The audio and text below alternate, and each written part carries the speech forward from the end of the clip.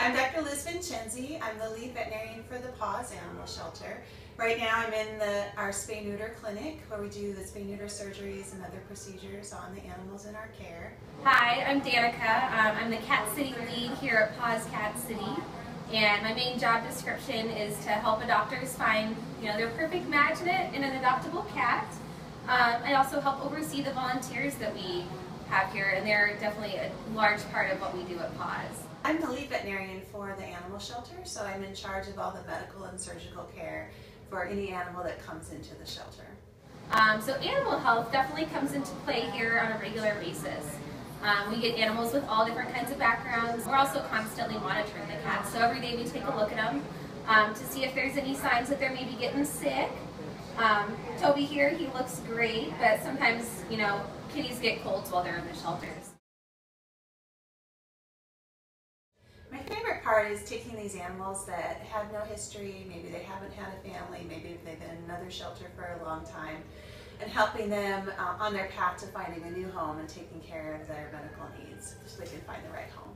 You know, my favorite part is just seeing these guys go to their forever homes. Um, you know, some of them have had kind of a rough past. You know, we get sometimes stray animals, ones that have um, their owners were unable to care for them anymore, so they ended up with us. Um, and we also pull animals from a lot of shelters um, that have an overflow problem. So um, seeing these guys get adopted and find their forever homes is, is a great portion of the job.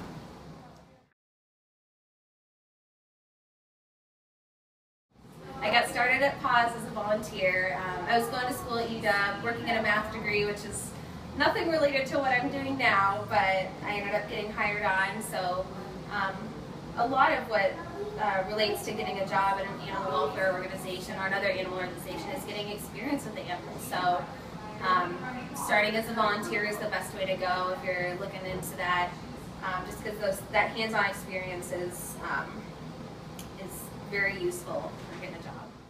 So I took kind of an unusual path um, to becoming a veterinarian. When I graduated from high school, I wasn't sure what I wanted to do. I went to University of Washington right out of high school and got my bachelor's in psychology. And then I worked um, in non-veterinary medicine for a few years where I tried to figure out what I wanted to do. And then when I decided I wanted to be a veterinarian, I had to go back to school and take some more science classes and then apply to vet school.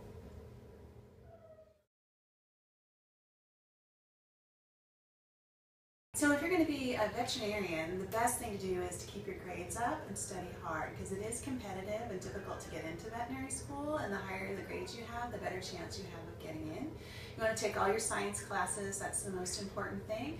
And then the other thing that vet schools look for is um, a wide experience in animal work. They want to make sure you know what you're getting into.